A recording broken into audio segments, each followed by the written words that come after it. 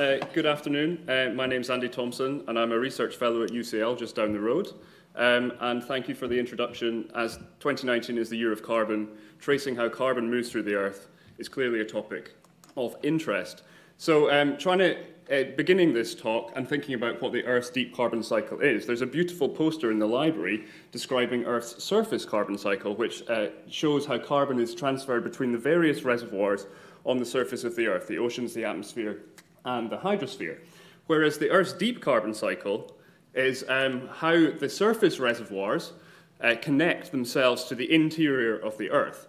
So Earth is unique because, unlike the other planets we know of in detail, it has downgoing uh, mass transfer of volatile species via uh, tectonic convection and subduction of the oceanic crust, uh, which allows volatile species from the surface to be brought inside the Earth.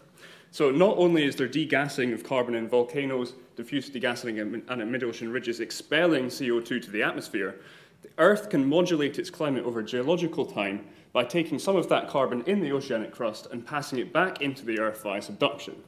So here is a schematic which shows estimates of the mass flow of carbon via the various uh, portions. So there's outgassing and ingassing, uh, and the, the mass fluxes are estimated via a paper a couple of years ago. And the question I really want to address throughout the rest of this talk is how much and how does the carbon being subducted deep inside the Earth, so that's beyond the subarc environment, which perhaps just comes straight back out uh, arc volcanoes, how does that behave?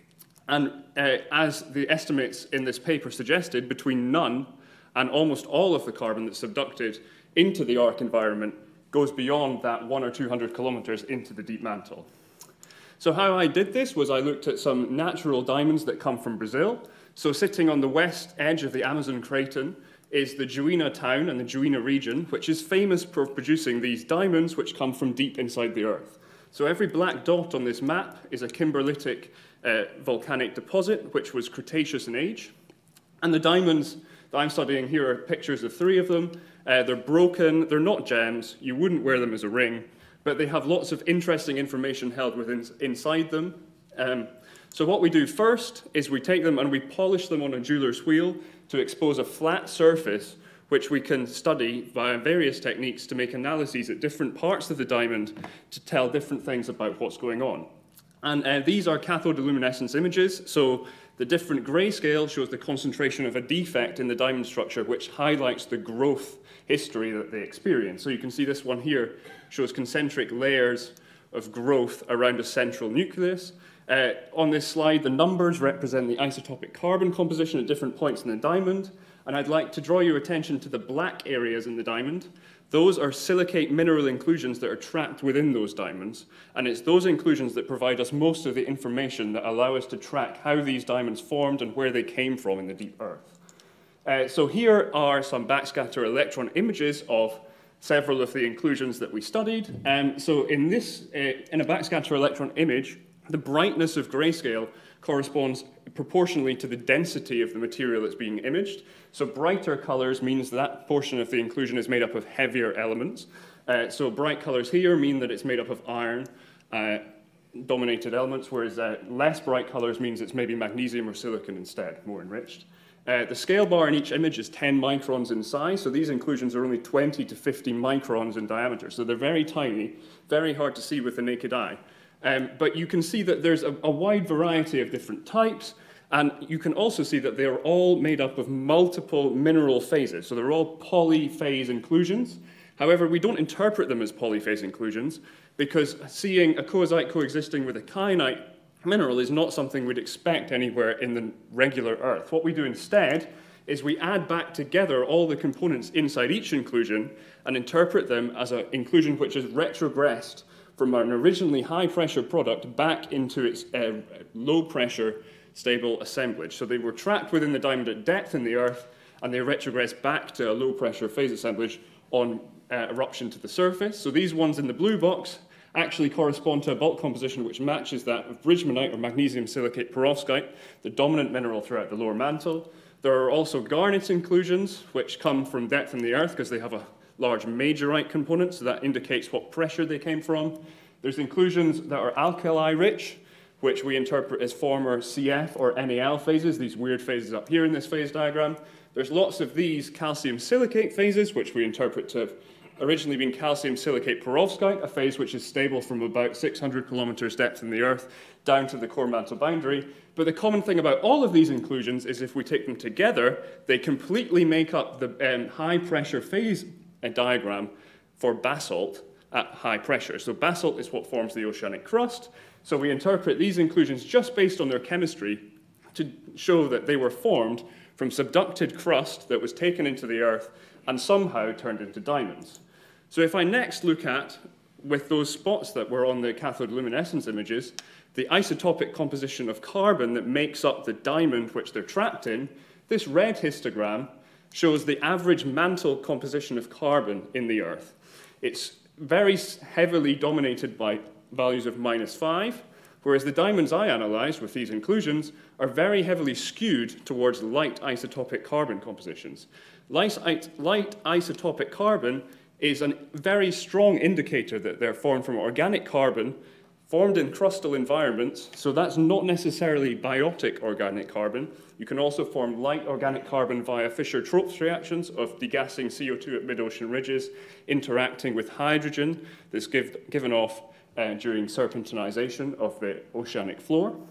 So this is a first indicator, or another indicator, that the diamonds are related to subducted crustal material. If we go on to look at the oxygen isotopic composition of the inclusions themselves, so those are silicate minerals which contain oxygen. Now, this green histogram is the same as the red histogram on the previous slide, so that's the average mantle carbon composition. On the y-axis, you've now got the blue histogram is the oxygen isotopic composition of mantle peridotitic xenoliths that have erupted in cratonic environments.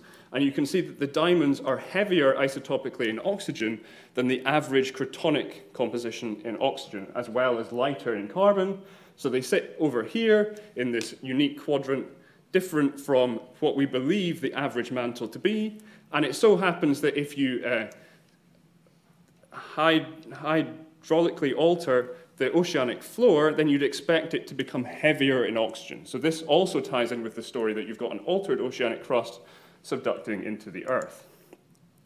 We can go on further and look at the trace element geochemistry of the inclusions trapped within the diamonds. So here are those calcium silicate perovskite inclusions again.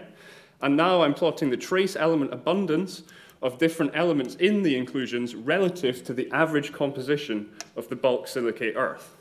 So if it was just a portion of uh, a calcium perovskite in a solid assemblage that was what you'd expect to be stable in the earth uh, with no melt around, it would have a composition at most enriched that is this red dashed line, but more likely these green and blue dashed lines. So the fact is that the inclusions that we've observed fall in these um, coloured bars. They're hugely enriched compared with the average composition expected in the solid Earth, um, up to 100,000 times more enriched than those you'd expect. And the only real way to do this is via crystallizing a melt which can concentrate those elements to very high amounts. So we've got inclusions that form from altered oceanic crust that's melted deep inside the Earth. If you compare the melting curve of a carbonate-bearing oceanic crust with the temperature that subducting slabs are expected to have as they reach the um, transition zones, that's three or 400 kilometers depth in the Earth's mantle, you can see that these, uh, the temperature of slabs will intersect the melting temperature of the carbonated oceanic crust material and produce a melt which crystallizes to diamond. Uh, we can reproduce this in experiments, seeing here that the composition of natural majoritic garnets in diamonds are the diamond symbols, the composition of uh, melts from carbonated basalts interacting with mantle overlying those things synthetically are the yellow circles, whereas they don't match the composition of garnets that you would see in solid phase assemblages without melt. So what we've got in this suite of diamonds from Juina is an entire story of the mantle carbon cycle in the upper mantle from alteration of the mid-oceanic crust, carbon subduction beyond the arc, melting in the transition zone about 400 to 600 kilometers depth as the solidus of carbonated oceanic crust intersects the temperatures of subducting slabs, and then some reaction which goes on here to reduce that carbon to diamond, and they somehow get back to the surface. And I'd like to finish there. Thank you.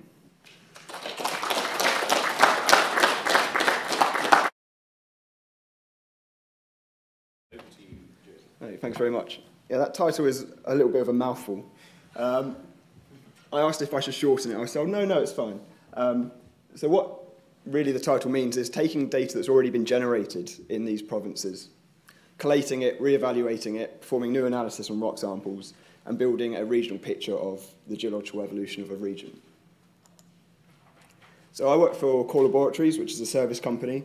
So we do geological work for oil companies. Uh, my division is called Integrated Reservoir Solutions, and we build these regional reservoir uh, petroleum system uh, studies.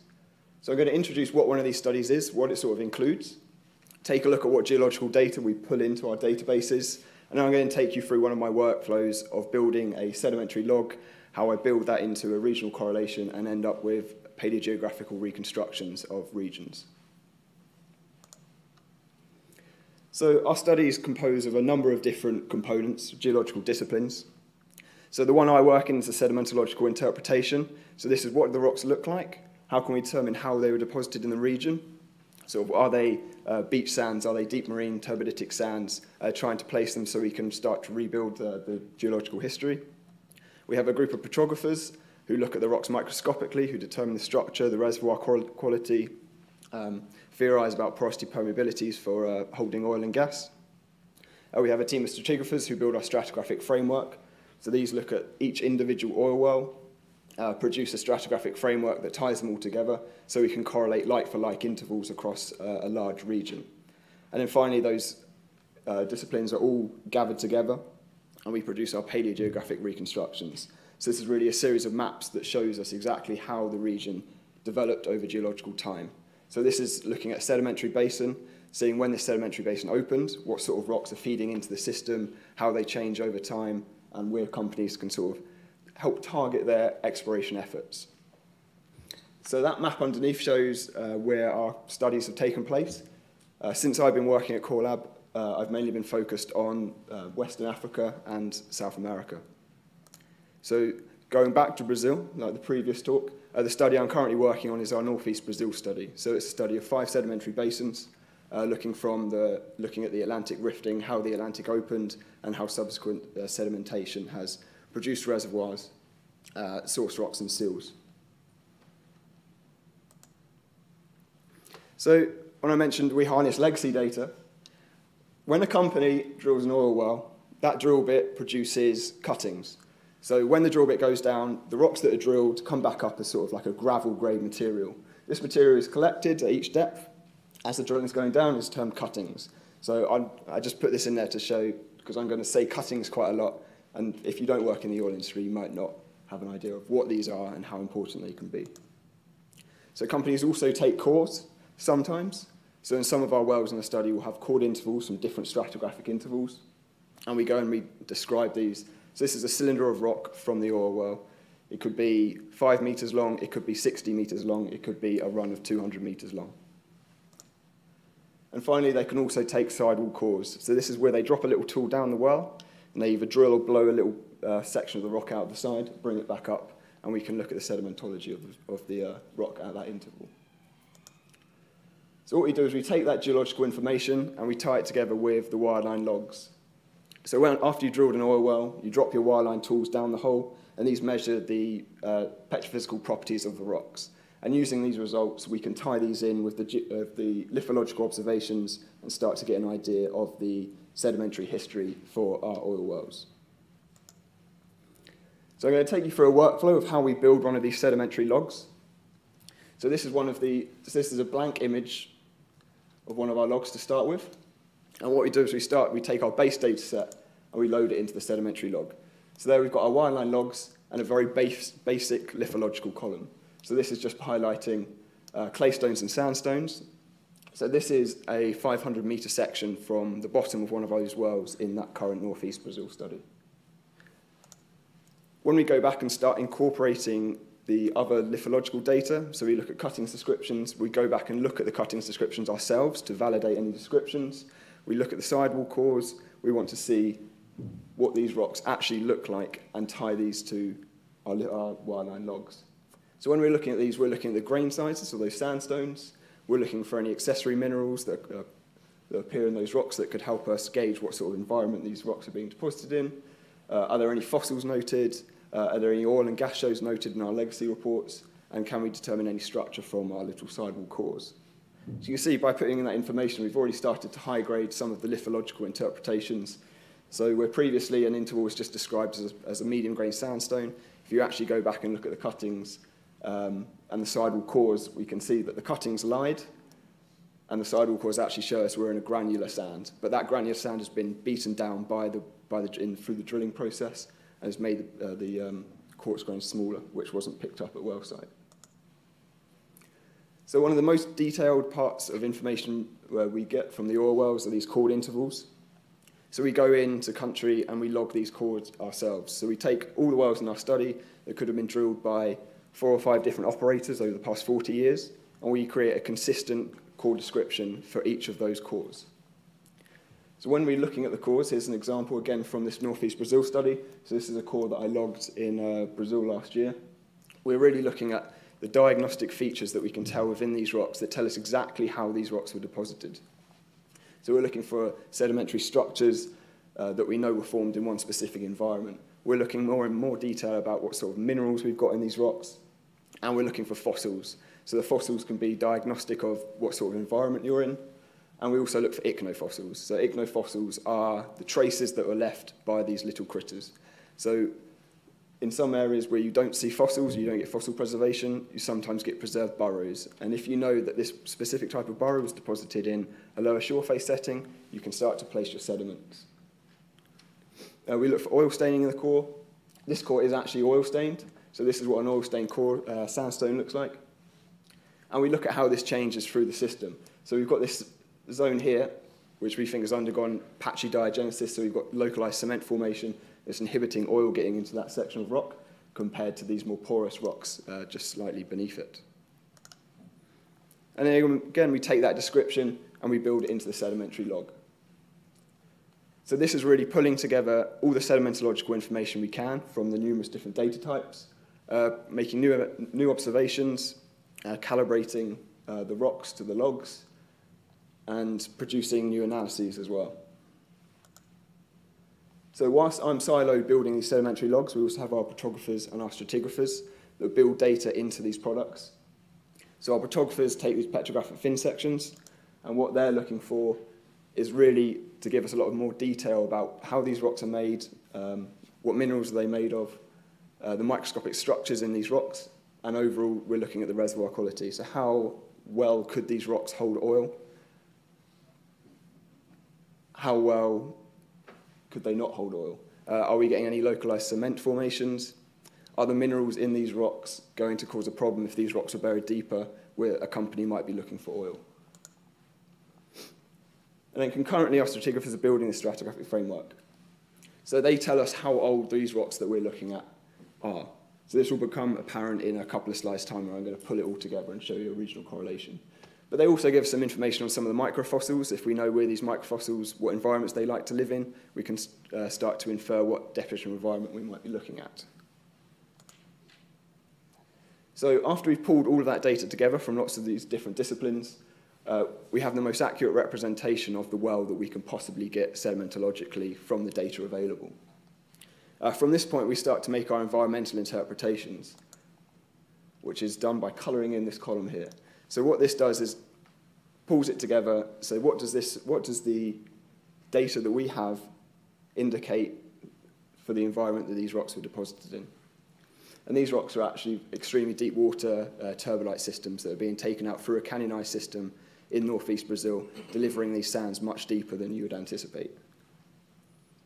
Uh, just to give you an idea of how large the scope of these projects can be, this is a 500 meter section. Uh, the current project we're looking at has 190,000 metres of lithological succession that has to be integrated, interpreted, and output. So once we've got the data for each individual well, we build it into these regional correlations.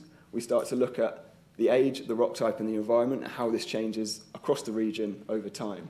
So if we know we've got oil in one interval down here, we can look across our cross sections and say, oh, we've got another sand here, Does that have sand? Does that have oil in it? Is it the same sandstone? And that ultimately culminates in building these predictive environmental maps. So this is a cycle through, so this is a, a map for each stratigraphic package, and it shows you where we see rocks deposited in different environments and how they change over geological time. And we use this to try and predict environments of, for deposition of rocks where we could see oil where people may have not um, explored yet. So thank you. So hopefully I showed you how we collate and evaluate this data uh, by harnessing exist an existing data set that often is just abandoned in a warehouse somewhere, and how we interpret our sedimentological trends and build a regional depositional model. Thank you. Great, thank you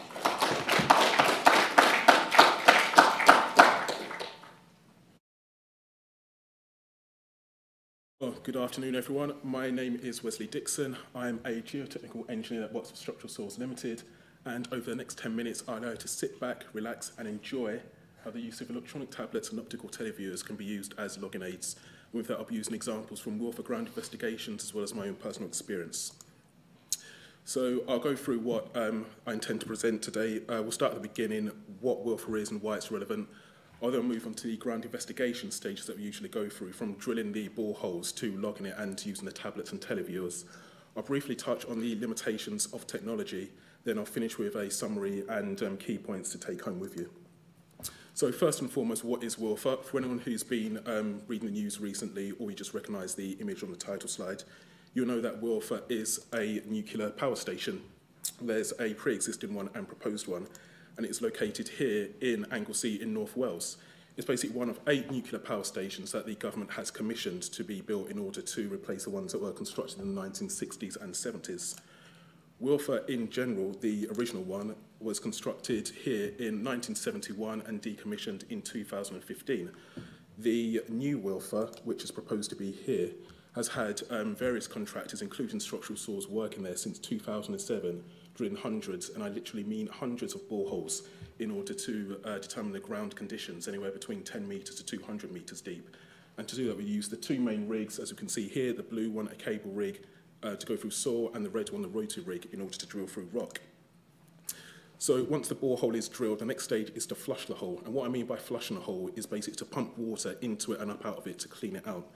So to use that, we use one of these, an intermediate bulk container or an IBC for short. These hold um, around about 1,000 litres of water and are able to connect to the rig. So if we imagine that we've got a borehole here and it's around about 100 metres, we basically pump fresh water into the borehole And as we pump fresh water in, we get the murky water and with the suspended sediment being pumped out. The more fresh water we pump into the borehole, the more of the murky water and sediment comes out until we pump so much fresh water in the hole that we get the water running clear as it's coming out. And when this happens, that's when you know that the hole is flushed properly. Now, if you're lucky, it will only take around about one IBC to flush the hole. However, if you're unlucky and it happens to be a Friday, you find that no matter what you do, no matter how many IBCs you put down the hole, the water will not run clear. No matter how annoying this is, you have to make sure that you flush the hole properly. And when I get onto the limitations of technology section, I will show you why that's the case. So assuming that the hole is flushed properly, we move on to the next stage, using an optical televiewer, which is one of these. It consists of a computer and a camera, which is attached to an, optical, attached to an optical fiber. The camera in cross-section looks like this with a conical mirror, so it can take 360-degree photos. And ladies and gentlemen, I apologize for this next part because I tried and I tried to find a diagram of this online. I couldn't. And you can probably see there's a reason why I'm a geologist and not an artist, but here we go. So let's assume this borehole is 100 meters deep. We have our engineer lowering the camera down, all the while taking images of it. That's stored in a computer. And once it's done, we get something like this, an optical televiewer image. With this, we see the two main rock types we see the, um, that we find in Wylfa. The psammite, which is pre-Cambrian to Cambrian metamorphic sandstone, and we see phyllite, which is pre-Cambrian to Cambrian metamorphic slate. There is another rock group, the Gwna group, which is a turbiditic sandstone, which isn't as common as psammite and phyllite, which we also find in North Wales. However, I don't have an optical image of this. And just like with the flush, I will get onto why that is the case with the limitations of technology section. So the hole's been drilled, the hole's been flushed, and the hole has had the optical televiewer down it. The next stage is for us engineers to physically log the core that comes out the ground. And to do that, we were using one of these, um, a Panasonic ToughPad, and the software that we used was Plog, which is a bit like Holebase or Gint. The um, agreement that we had with the client was that we want to start logging the physical core until we receive the optical televiewers so we could compare and contrast what was there in real time.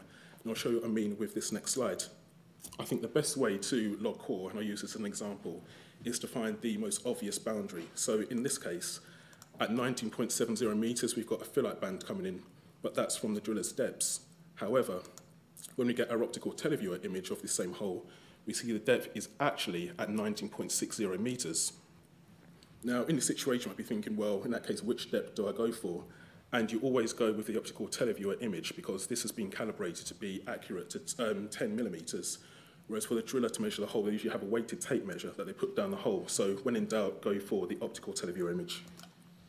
So why we use the technology, I think probably the most important point is it improves the accuracy and the reliability of the logs, but that's not it. Using the tablets, it saves on paper, it saves on printing, and it also saves time because when you have a lot of people writing stuff on paper, inevitably the paper's going to end up getting lost. Bit of audience participation. Who here thinks that says true?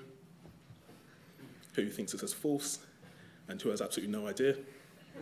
point I'm trying to make is that when you do stuff on tablets, you don't have issues with the handwriting.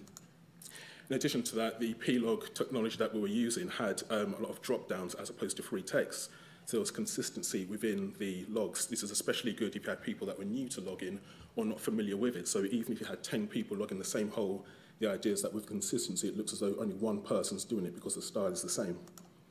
So another example of how we can use the televiewer images, we've got more core here, and once again, we think, okay, I'll get um, the televiewer image up. And you can see at 75 and a half meters, we've got the obvious uh, phyllite band with quartz, but um, also note, physical core, we don't have that yet. Now, when this originally happened, I admit it confused me a bit. So like any sane person, I listened to some Lionel Richie, and it was only when I was halfway through Hello that I realized the universe was probably trying to tell me something. Lo and behold, the driller had simply put the core in the box back to front. So, course, nothing's perfect and there are limitations with the technology. Um, with this one in particular, this core was in a shear zone. So because of that, we weren't able to get a decent image because of how non-intact it was. And that's how comes we couldn't also get an image of the Gwna groups. That's also quite a weathered non-intact rock. In this case, it wasn't too bad as we have the quartz veins here, so we're still able to match up where we should have been in the ground. Also remember how I said it's really important to flush a borehole even if you have an infinite amount of IBCs going down the hole. This is the reason why. We can still see at 80 metres there's a quartz vein here, but you can also see that the optical televiewer image is a brown colour because of all the suspended sediment. This hole clearly hasn't been flushed properly, and as you get deeper and deeper and deeper into the hole, that looks less like a televiewer image and more like um, laminate flooring that you'd find in carpet, right? Now with this, it's a waste of time, it's a waste of money, and the client probably isn't going to be too happy, which segues nicely onto my next section about unhappy clients, time constraints, now, again, in order to log the stuff the way we did, we first had to have the borehole drilled, obviously. It then had to be flushed, which takes around about a day. You need to leave it another day to settle. After that, you then have to have that image sent to us, which can take um, another day. All in all, you're sometimes looking at four or five days from when the physical core comes out the ground to when we can start logging it. And with that time, you've got the client that wants that information there and then because you have tight deadlines and large projects like this. I personally think it's worth waiting for that to happen so you can log it more accurately than rushing through and trying to correct afterwards, but that's just my opinion. With that, I'll summarise what I've gone through today. Using the tablets and the televiewers together can improve the accuracy and the reliability of the logs. If you're going to flush a borehole, do it properly. There are limitations within the technology, although some of them are avoidable, i.e. flushing the hole properly. And anyone interested in this line of work, it's is a lot of work, but also can be a lot of fun. And with that, I will finish with one of my favourite images from the job. This is the warehouse where we stored all the core. Um, in Wylfa, there's probably about 13 and a half kilometres of core there. I, at this point, had logged three and a half kilometres, and I think it's fair to say that it's probably enough for a lifetime. So thank you for listening, and are there any questions? Thank you very much.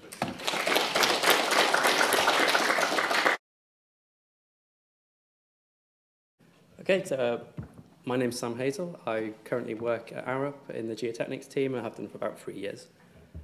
Um, so there's a quick agenda of what I'll be going through today, a background into the scheme I'm working on, and then the criteria and resources we use to analyse what walkovers we would go on, and then just a few site visits, a few case study examples, before finally a few conclusions and summary. So for anyone that doesn't know, the project is HS2, uh, HS2 2B, so this is the eastern leg on the, obviously on the eastern side, um, running up from Tibshelf onto the eastern side of Sheffield and up towards Leeds. Um, as everyone probably knows, it's one of the biggest infrastructure projects in the UK. Um, the site itself is, I've defined as a 130 kilometre linear site. In fairness, it's much wider than that, much bigger because the earthworks alone can extend for tens of metres each side. We have depots and spurs and other little bits of work, but in case of this, we'll call it 130 kilometres. Goes through a complex region, both geologically and historically, um, predominantly through coal measures, lower, middle and upper, a um, little bit of Permian, but also, along with the coal measures, we have a rich history of mining. The project itself, while most people regard it as a railway project, is very multidisciplinary. We've got input from ecology, environmental teams, structural, you name it, there's probably something there. So to target the walkovers, the first thing we need to do is identify risk. You can identify risk in many, many different ways. HS2 have many ways of identifying and classifying risk. But in terms of this, I've broke it down into engineering risk and operational and logistical risk. So within my engineering risks, I've got instability, historical mine workings, um, and so, and then geology and unforeseen ground conditions. Operational and logistical risk might include wider environment, existing structures, physical barriers, things that might prevent the scheme from being developed successfully. So what we need to do is create a priority list. As I said, it's 130 kilometres, it's a massive site. Um, we need to narrow that down. So how do we decide where to go? What can we actually hope to gain? There'll be places that everyone wants to go. Ideally, we'd go everywhere. We'd walk every square metre, but simply we're not going to have time. It's going to be too expensive, and it's also going to be very tiring. Um, so to do that, we've reviewed a wide number of sources. One of the jumping off points was to analyse the topography of the route. So we got all the OS maps together and looked through the entire route, found all of the prominent features, anywhere of interest that might create, what should we say, a, a dramatic landscape. Um, this combined with all the relevant geohazard data uh, allowed us to target specific areas. And then using items such as LiDAR, we're able to um, concentrate our search and focus on these. Items such as the landslides database also provided a great insight and allowed us to completely target specific areas and visit um, with guidance. Uh, one of the main sources we used was the Coal Authority. They provided us with a wealth of data, including um, unlicensed open cast areas, areas of probable working, but also conveniently seam outcrop and mine entries. So as I said, it's through the Pennine coal measures. It's a very heavily worked area, so it'll give us a really good idea of where these items are. And also abandonment plans so that we can actually ascertain how big an open cast site might be or the actual licensed area. But what really ties it all together is the geology. So again, using different sources, online resources, the old maps, memoirs, everything we could get our hands on, previous test studies of the it might have intercepted with. We brought this all together along with the Coal Authority data. I managed to create some long sections for the entire route. Uh, this is one that I created myself. It's very early draft, so I'm, I already know there's bits on there that's incorrect, and we've got some much more evolved ones. And uh, using like the coal seam data, we were able to plot these quite accurately and create them for the entire route. So after we've gone through this, we've settled on five locations, oh, sorry, 15. Um, so th these have engineering and access significance. We've also managed to rule out areas where we might not get any extra data. Um, what would we actually get from going there? Um, so and we've also put in a widespread coverage of locations so that the entire route is included. So the next thing we need to do is produce a schedule of visits. Like, it's a very big site, multiple landowners, and each of these landowners would have to be contacted. So come on to my first case study, which is instability. So as you can see in the photo, we've got some evidence of rotational slip going down the hillside. Um, the landowner here has cut the tow away for the access track, probably not making things any better. In other areas, we found evidence of translational slips with a number of trees showing compensation for the movement. These trees were found to be on very shallow rockhead. A few of them had already fallen, exposing the roots and the, um, the weathered rock below, and revealed a very, very thin topsoil. So I said that instability brought us sort of to this location from the resources that we'd reviewed previously. But interesting, when we got here, we found that the landowner that probably cut that tow away had also completely landscaped the entire area. This used to be a massive hill, and on the OS maps, still was a massive hill. But when we got there, there are probably about 15 fishing ponds that he's created in this sort of stepped platform um, into the hillside. So it's sort of a cut and fill replace method. Um, but absolutely no evidence of this prior.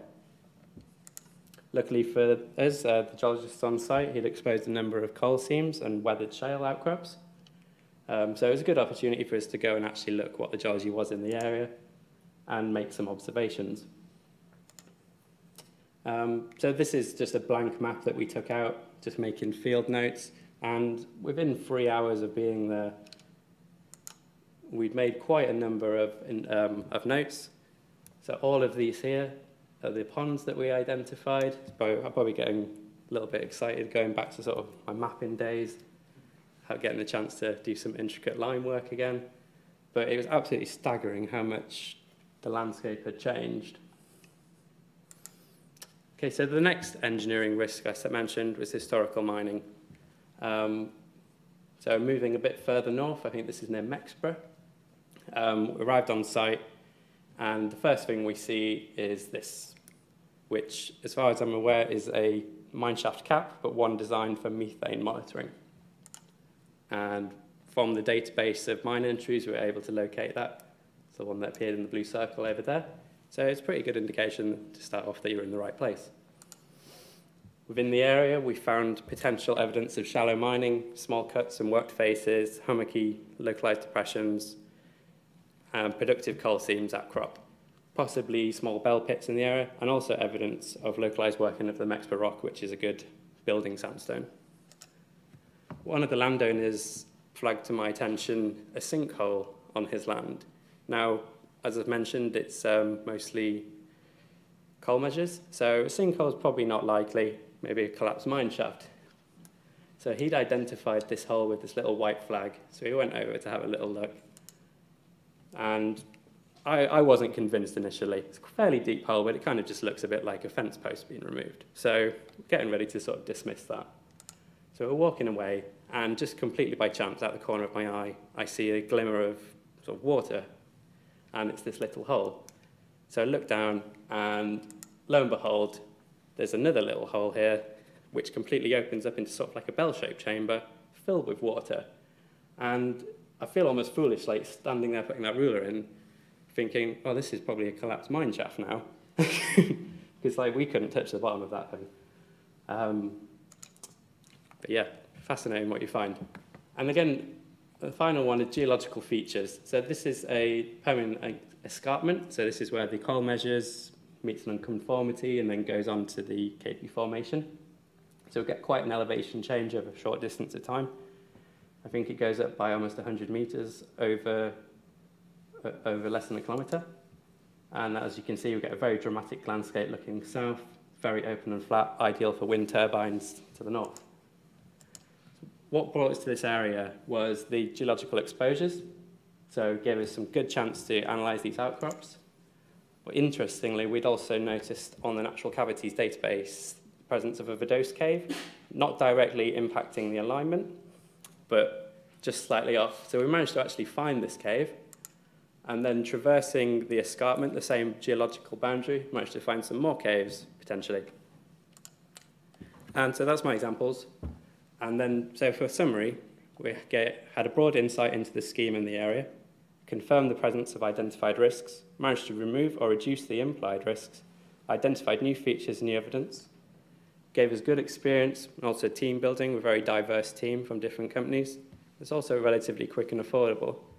But the highlight for me was that of these 15 priority sites, the data we, conclude, we got, um, HS2 then instructed us to conduct further sites. So from this initial 15, we've just short of 40 now. And uh, I think they're scheduling a few more soon. Thank you very much.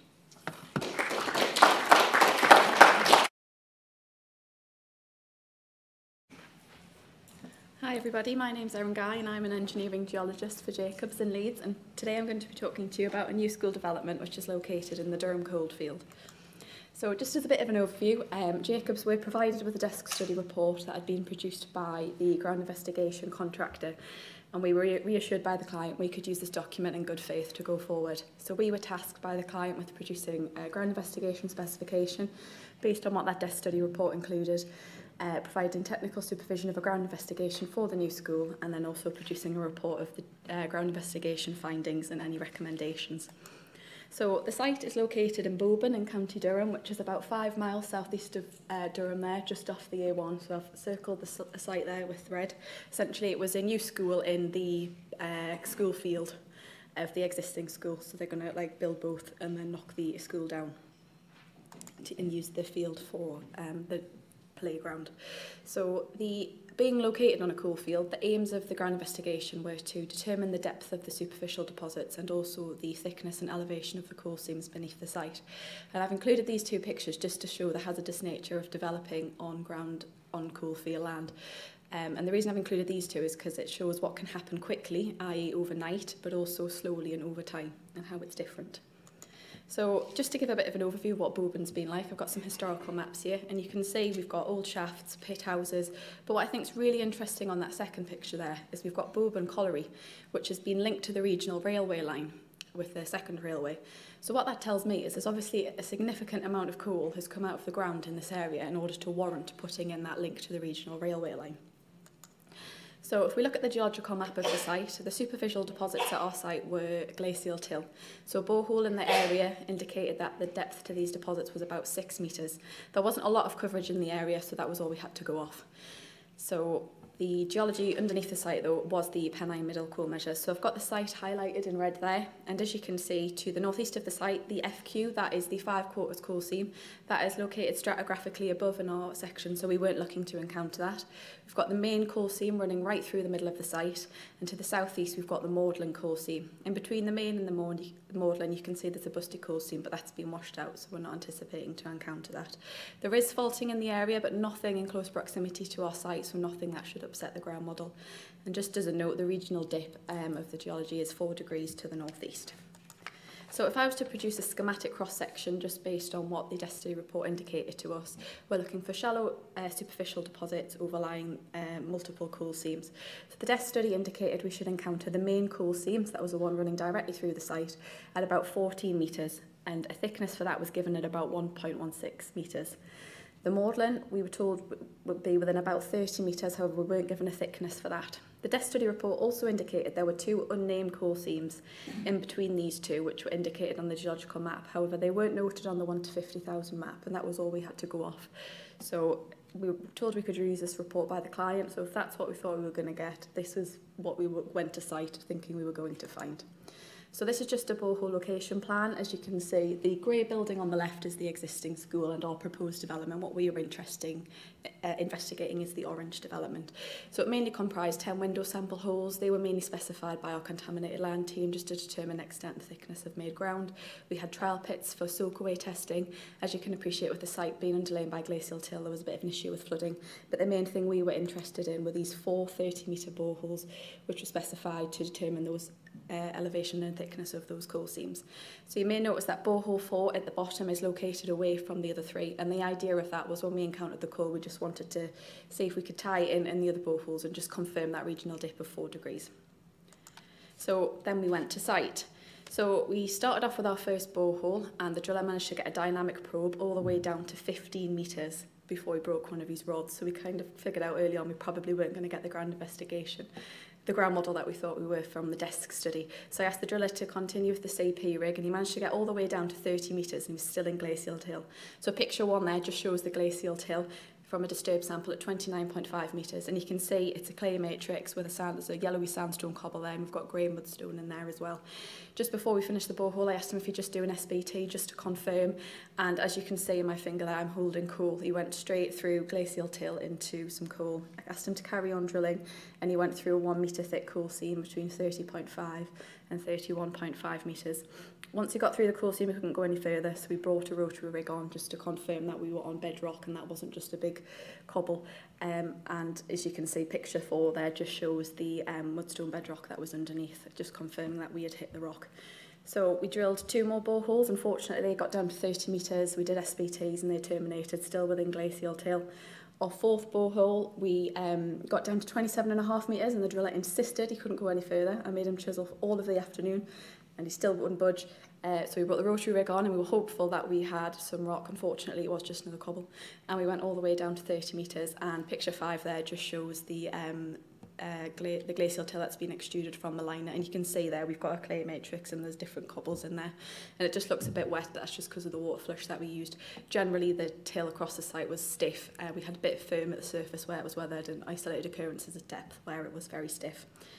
So if I'm to put the two cross sections by, by, side by side, so that is our desk study cross section and this is our ground investigation cross section. You can see the difference there is the thickness of the superficial deposits but also the fact that we only encountered one coal seam. So when I was on site, I originally thought the coal seam that we'd encountered was the main coal seam, and that depth of 14 metres that they'd given us in the desk study was incorrect. However, when I got back to the office, I got the geological map out and had a bit of me uh, messing around. So using trigonometry and that regional dip of 4 degrees, I realised that what we'd actually encountered was probably the main coal seam. The desk study said we should get that at about 30, 30 point, within 30 metres. We got it at 30.5, so that's quite similar. So that lead me, led me to think, what has happened to the main cold seam? Where has that gone? Why didn't we encounter that? So this was a 3D ground model that we produced to help the client understand because they couldn't get their head around all their planning documents said there was coal under the site and we just there was no evidence for it. So we made this picture just to show that it wasn't just underneath the site in fact is the wider area there is um, a significant thickness of till here and so what I did was I started to look at the wider area and say what what's caused this. So our site is where we've got the red dot next to borehole 2. That was where we got the borehole with coal in it. And I looked at wider um, BGS borehole logs in the area just to sort of see if I could build a picture. There is more there is a higher proportion of logs available on the BGS. However, there's not a lot that actually have the superficial deposit thickness in, so there wasn't a lot to choose from. But this is a generally what I found. And you can see if I start to add in the colours there, it looks like our site is on the limb of a paleoglacial valley. And what I actually think has happened is uh, when the glacier, during the last uh, ice age, when the glaciers have come through, I think it's eroded the Pennine Middle Cool Measures and particularly that main cool seam underneath our site and has replaced it with glacial till. And as you can see, our borehole isn't even the deepest. It actually, I think that borehole in the middle is about 58 metres of till. So potentially what we think we've proved here is an inaccuracy on that 1 to 50,000 geological map for Durham. So what does that actually mean for our development though, and what does that mean for the school? So if we had encountered the um, ground model for the desk study, um, where we potentially had shallow coal seams and multiple coal seams, it's likely that we might have had to remediate the ground and we probably would have had to um, concrete that using a ground grout curtain. And if those coal seams were shallow, it's, po it's possible we might have already um, also had to pile through those uh, into the competent bedrock below. But because we didn't, because we did the ground investigation, and because we found it's actually the till was at a great, sorry, the coal was at a greater depth, and we've got that significant thickness of till, we believe that we don't actually need to recommend any remediation, and actually we can just recommend shallow foundations, and there is no need to remediate that site. So just as sort of closing statements there, I think what this sort of this case study highlights is the, doing the important is the importance of carrying out ground investigation.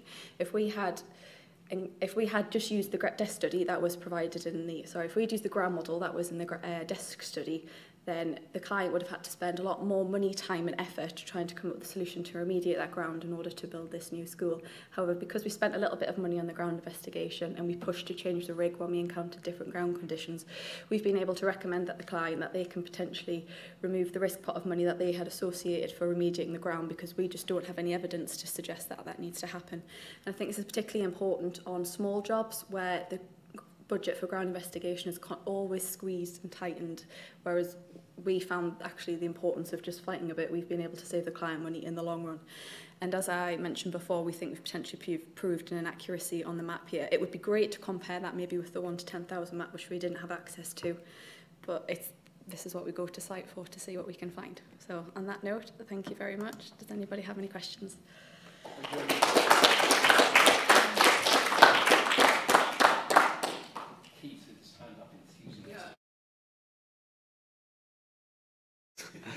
Uh, hi, I'm uh, Kia Thomas, and uh, I work for a small consultancy called Geotechnology, uh, based in South Wales. And I'm going to talk to you today about a project that I was working on throughout uh, sort of 2017 and into early 2018. Uh, I've had to remove any reference to the name of the site or the parties involved because of concerns about blight on the development. So uh, yeah, so we're stuck with this vague but specific at the same time uh, name. Uh, so the site is a residential development, uh, 240 properties. Uh, they like to uh, like to cram them in on the site. It's a fairly well-known large house house builder. Um, the site is located within uh, an existing residential area. Uh, some land is uh, given over to industrial use, but generally, generally housing, uh, uh, with some agricultural land off to the uh, off to the one side of the site. Uh, here's the geological setting. So uh, you can see our site here outlined in uh, in red on the uh, on the right hand drawing. The site is actually located here on the uh, thematic geological map in this complex area. So over in the, uh, the east, you can see we've got the Mercia Mudstone. This is uh, a unit which is comprised of um, mostly mudstones, but also conglomerates and breccias, uh, some dolomitized, and that is given over to uh, given to solution, um, dissolution features. and then most of the site lies on the St Mary's Well Bay member, which is a unit of interbedded limestone and shales. They're quite thinly interbedded and near the surface we tend to find that the shales have been weathered to a, uh, sort of medium to soft clay.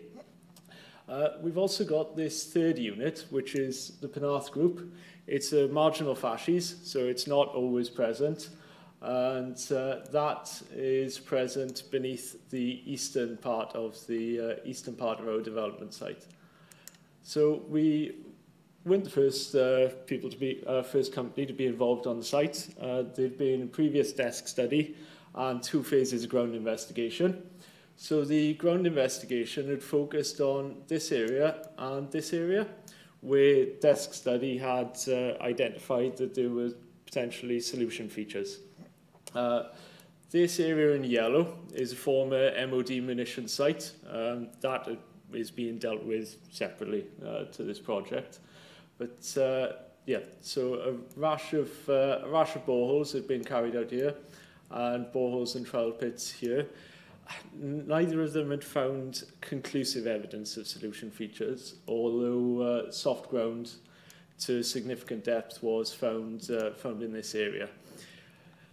Those studies and uh, the reports associated with them had basically been shelved by the uh, by the housing developer.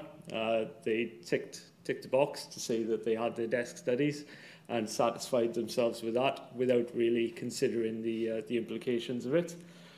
Uh, so we were then called in uh, initially just to carry out some soakage testing and soil sampling for soakaway design and for materials management of the um, of the topsoil. Uh, as part of this, we were asked to sort of review and summarise the data from the previous investigations, which was when we picked up that they may have an issue with, uh, with solution cavities. Uh, we highlighted this to the client, um, asked if they could provide us with some more information on sort of the design levels for their uh, uh, for the site so that we can compare this against our geological model that we'd built up from our limited ground investigation and the, uh, the previous ground investigation. Uh, so using that info, we, uh, we developed this uh, conceptual model of the site. So uh, very thin soil cover. There, there are no superficials mapped in the area. So we're talking about probably three, three, 400 millimeters of just topsoil material directly overlaying the uh, bedrock. So the bedrock, we've got the, uh, the limestone and shale over here on the western part of the site. That gives way to two to three meters of green mudstone in a highly weathered state, uh, which is underlain by a purple mudstone, which is more competent. And then another two meters of interbedded sort of limestone shales and mudstones. Then we get onto this sandstone, This is the Kerala sandstone, which we'd identified in the desk study as having the potential, potential for solution features. Unusual for a sandstone, but it's not cemented with silica. The grains are cemented with calcium carbonate, so it is prone to uh, dissolution. Uh, so we generated this uh, this conceptual model to uh, to show the client, and point out that they, they may have a problem here that needs to be addressed before they can develop. Uh, they were reluctant to do any more, having already done two, uh, two ground investigations previously. So we then went about the process of uh, creating a cut and fill isopachyte of the uh, development levels to existing ground, uh, sorry, against uh, rockhead, which is roughly equivalent to existing ground. And fortunately or unfortunately, we found that in this area where they had the potential solution feature, uh, there's a large area of cut uh, in order to bring, uh, bring the access road into the site. So rather than ploughing ahead with uh, further investigation, which the client was reluctant to do, uh, we said that we'd have a watch and brief while they were excavating in this area to see if, uh, see if they encountered anything suspicious. Uh, when they did dig into this area, we found these. So you can see here on the left-hand side, that was the, uh, the first sign of it. As the excavator cut in, it just clipped onto the top of this, uh, this cavity. Um, various things were shoved into the cavity to uh, see how deep it was, and uh, then eventually it was opened out. You can see the site manager here stood next to it. So the cavities are around two and a half to three meters deep, and there is got a drone survey. So we're not talking about huge cavities. These are not sort of Florida sinkhole type things where we've got tens of meters across. But in the context of a small house, you know, that will quite easily compromise the, uh, compromise the structure if it collapsed. Uh, you can see here in the wider shot, here we've got our green mudstone, the purple mudstone, the, uh, the interbedded uh, limestone, shale and mudstones, and then we're onto the, uh, the Quarella sandstone. So it seems to be that it, the decalcification is limited to the, the top, top few meters of the Quarella sandstone, as once you get deeper down, it is actually silica cemented. Uh, so, so here's uh, just a revised conceptual model a road cut in has just gone in and clipped onto the uh, onto the top of uh, top of the cavities. This uh, this did serve to sharpen minds with the client, and they then give us the go ahead to uh, uh, carry out some investigation. So we carried out four rotary boreholes on a uh, on a triangular grid in order to get a good constraint of the, uh, the geometry of the Corella sandstone, and then one chord hole which was carried out sort of further down dip to the west, uh, just to confirm the full sequence. We then used this to create, uh, create this model of uh, rock cover over the top of the, uh, the Corella sandstone, which was then used to develop a series of risk zones. Uh, right, the, uh, borrowed this from Waltham. Um, so we were con uh, mainly concerned with collapsed dough lines and caprock dolines. uh, but also where the Quarella sandstone comes to the surface in the east of the site, uh, buried dolines. So these are our three risk zones. So uh, developed based on uh, the crop of the uh, Quarella sandstone. So zone B is where we determined we would need to carry out a drill and grout operation. Uh, zone A is where the Quarella sandstone is at a, a significant depth, so there's uh, no need to carry out any remediation. Uh, the risk has been mitigated by reinforced foundations. And zone C, where we suspect the Quarella sandstone's near surface and we may need bespoke foundation solutions.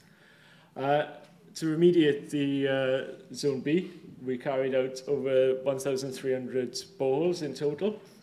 Uh, these were at a spacing of three meters, uh, which was based on the, um, the foundation design given to us by the structural engineers.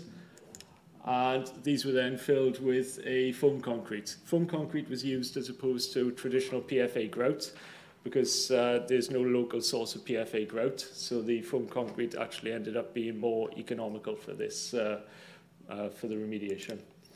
Uh, you can see here a plot of uh, the grout tick in the boreholes.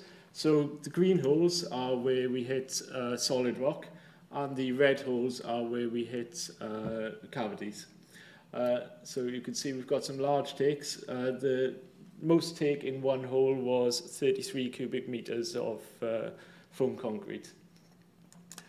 We then moved on to phase C, sorry, zone C, where we carried out a electromagnetic survey to try and identify the uh, the depth to uh, depth to rockhead and any uh, solution features. Okay, and that's the uh, that's the plan for that. Uh, there were other issues in that there's still the MOD site on uh, part of the site. And that's summary. Any questions? Sorry. Okay. Thanks,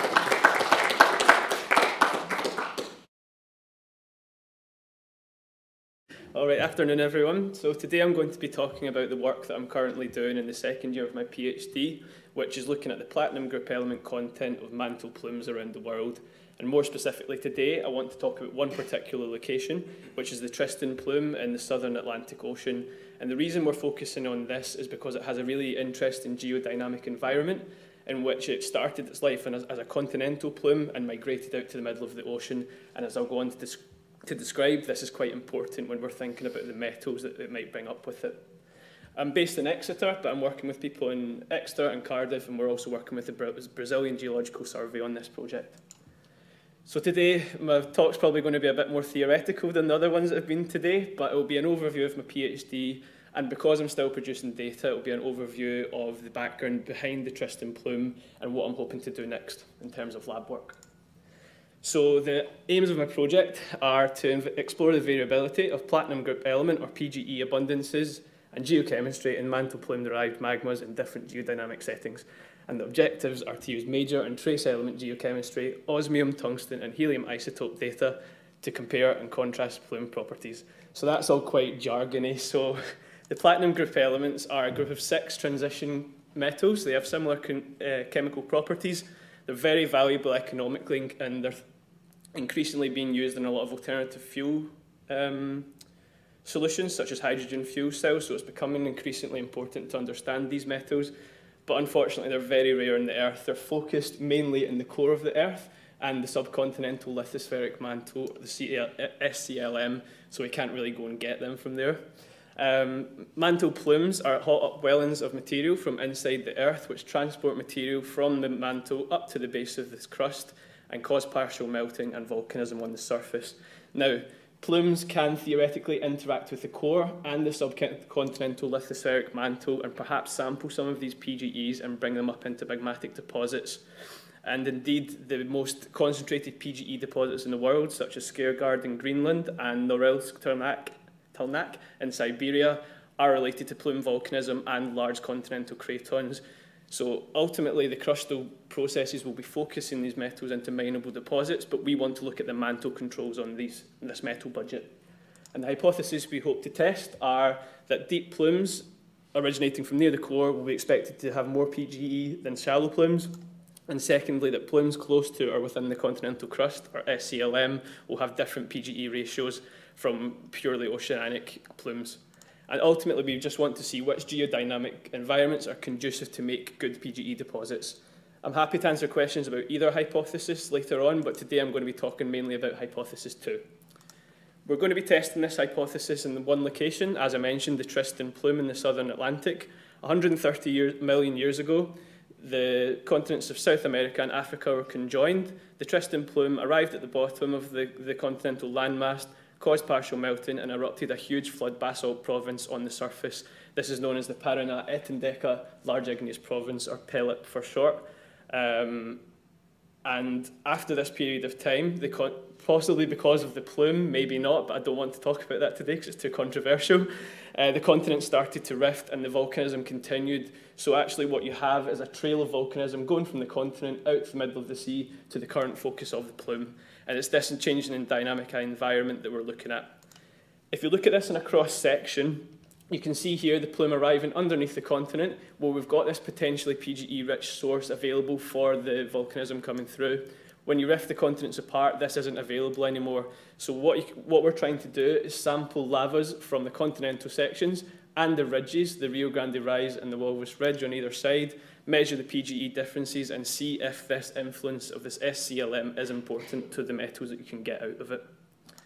And you can actually see the plume trails in, uh, on Google Earth. We've got the current focus, the Rio Grande Rise and the Walvis Ridge, so it's a huge structure.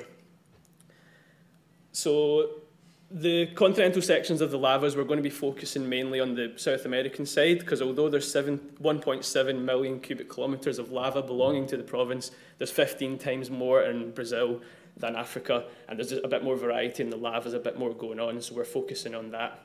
David Peate in the 90s consolidated all the work done up to that point um, on, the, on the, the lava formation in Brazil, which is referred to as the Serra Geral Formation.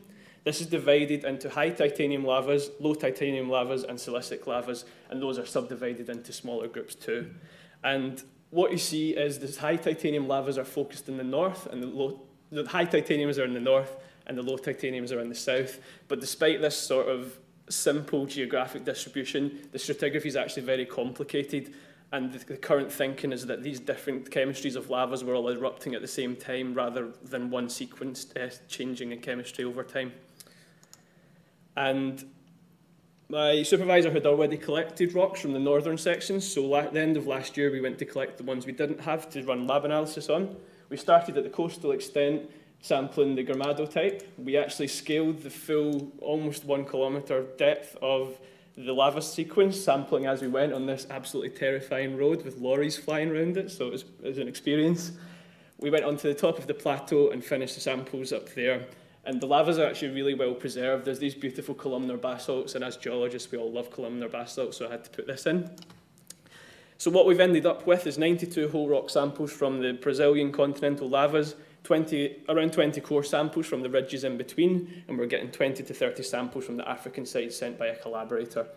And we're going to run geochemical analysis on all of these and measure their PGE now, I know what you're thinking, these all look exactly the same, which is a bit offensive to me, but really it's what's inside that counts. And when you look at the, the geochemistry, there's a, a strong distinction between all these lava types. You can see the distinction between the high titanium trend and the low titanium trend on these major and trace element discrimination diagrams. But what I find really interesting is when you look at the magma sources using some work done by Pearce on discriminating magma types, the high titanium lavas plot in a traditional plume chemistry, what you'd expect. The low titanium ones have continental signatures. So if we're talking about plume lavas sampling continents and some not sampling continents, this is our dichotomy here. We're going to be looking at the PGE, overlaying my data on top of this, and seeing if the influence of the continent is important. My supervisor has actually done some work in the North Atlantic, because if you imagine the Atlantic opening in the Cretaceous, it unzipped in a northerly, a northwards fashion. And in the North Atlantic, it rifted Greenland and the UK apart. And um, there was actually a plume there too, pretty much the same situation as Brazil, coincidentally. And this is where Iceland formed in between the two islands it rifted.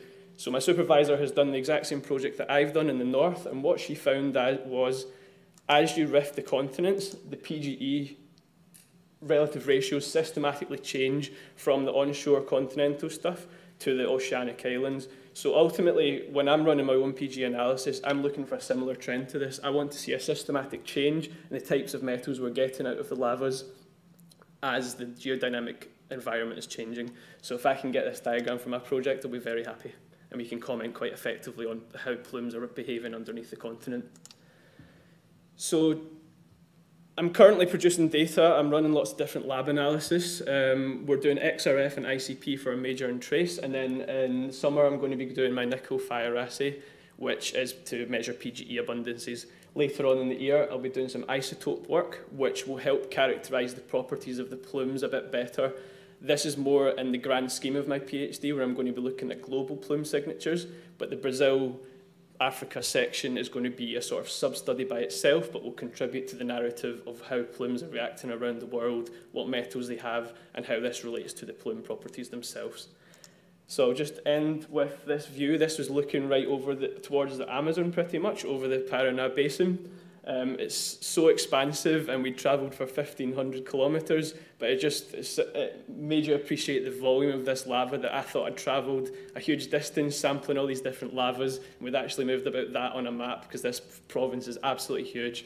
So I know I'm taking on quite a large task trying to comment on such a large volume of lava, but I'm looking forward to the challenge of having a look at these different geochemical trends and seeing if I can contribute to the already controversial plume topic. Thank you very much.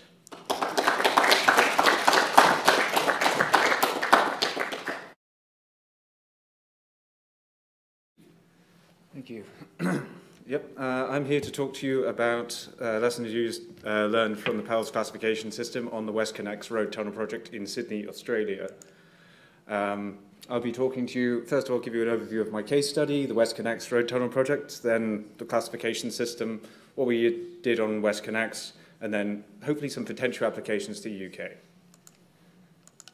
So the WestConnex project, um, West Tunnel, sorry, the road tunnel project is pretty big, basically. It connects central Sydney with its western suburbs, and it's a fairly high value contract. In terms of the geology, it's pretty boring, really. Uh, you have layers of sandstone and shale interbedded. There's some laminite, some siltstone, but it's all laid down in a very large Ganges-like system in the Triassic. And it's, there's very little going on tectonically, a couple of extensional faults, some late-stage dikes, nothing interesting, really. So, the Pells classification system, what it does is it takes those five, uh, two principal rock types and then divides them into five categories based on the degree of weathering. So, one being fresh, unweathered rock, five being pretty much soil, uh, and the key thing about it is that it uses objective and measurable parameters, such as the joint spacing, the intact rock strength, and the amount of allowable weaker seams within the rock. So, if I went a bit too fast, don't worry, I'm going to go through some examples now. So we have on the, on the screen here, there's two rocks, obviously. In the left-hand corner, we have sandstone, and the right-hand corner, we've got shale. So the sandstone there, it's got maybe two fractures on it, so there's pretty wide spacing on the fractures. It's got one seam, which is that shale band coming across the, the middle there, and uh, but that's less than 1% of the face. And we can't gauge intact strength from a photo. What we do in the field is we'd go to the face, or closest we could get to the face, grab a rock, stick it in a hydraulic rice, vice, uh, ramp up the pressure until it broke, and that's what we call a point load test, and that'll give us an indication of the strength. So the, the shale, I appreciate it's a terrible picture because it's kind of black on black, but you can't really see any fractures. It's got a glossy finish to it, so it's probably not very weathered. So, and can't see any seams, definitely less than 2%, so class 1 material. Okay, class 3, you can see quite clearly that there's some more beds coming into the sandstone. You can see sort of other seams coming in. Um, again, we can't gauge intact strength, but it looks lower. And then with the shale, you can see that we've got uh, more fractures, um, and those kind of grey squares on the top, there's a, they're heads of bolts.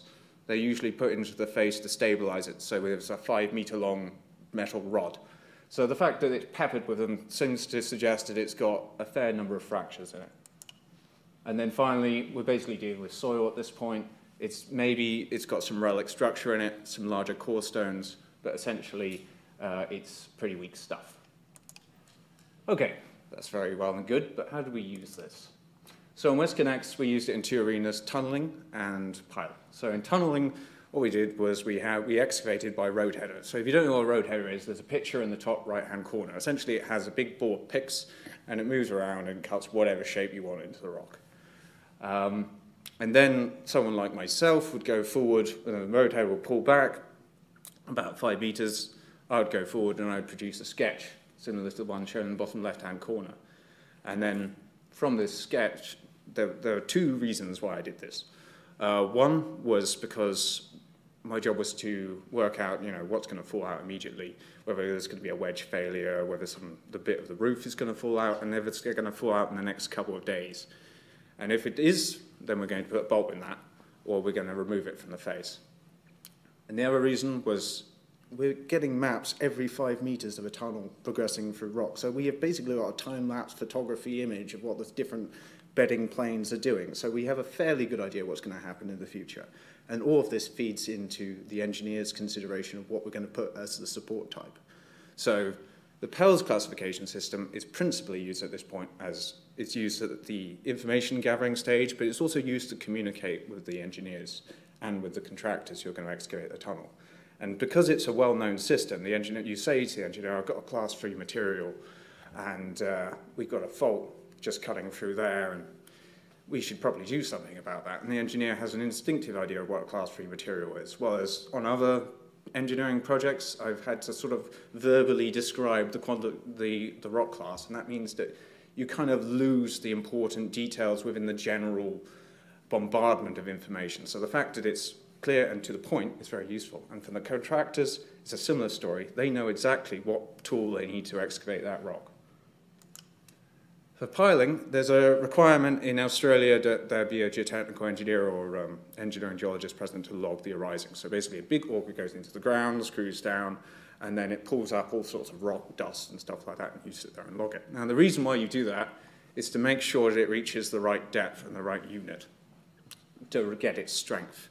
So in the, in the UK, when I've done pile logging, um, there's no hard and fast definition between soil and rock. What usually happens, and usually at the design stage, is you draw a sort of imaginary line across the, the weathered zone, usually quite close to the bottom, and you say above this line, it's soil, and below this line, it's rock.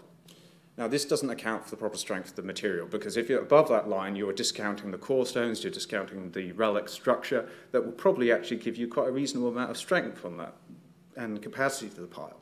And then below that line, you could have a fractured rock head, which you're now saying is fresh material. So you're overestimating the strength of that. And generally, this uncertainty means that you have a longer pile, which means more concrete, more reinforcement, more time, and more CO2 released into the environment.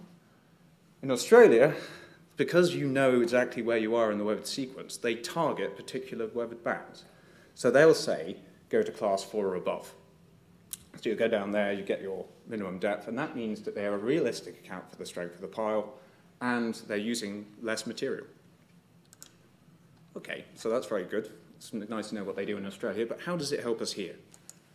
So Pells, who devised the system about 20 years ago, said that we can use it in the Mercia mudstone and Sherwood sandstone. Now, that's only because it's a similar depositional environment and it's a similar time. Um, and I think these classifications have already been subdivided by the BGS, and parameters have already been given to them by CIRIA guidance. So it's quite possible that we could build this up into a sort of robust system for categorizing weathered features in this zone. And therefore, we can account for the strength of piles in this area and shallow foundations and so on. And so, in conclusion, um, so there are some limitations. Um, we, it was devised for Sydney, and as I said at the beginning, Sydney is fairly boring. So we have largely homogeneous deposits, it's all flat and flat and horizontally bedded. And then when you come across a vertical feature, the classification system doesn't really deal very well with that. So you have to manually downrate it, which is a bit unfortunate. But it's a very fast and effective means of communicating crucial geological information to engineers and contractors. It's dependent on measurable parameters, so anyone can come, pick up this, and use it and they can easily classify and get the same answer. It's very repeatable in very different environments. It realistically accounts for the strength of weathering profiles, And we've got 20 years of, of Sydney geologists' experience where they've linked it with all sorts of engineering parameters, permeability, different uh, shear characteristics. So we'd, I mean, we'd have a very good bank of data to use in our engineering projects. So that's all I have to say. Does anyone have any questions? Thank you very much.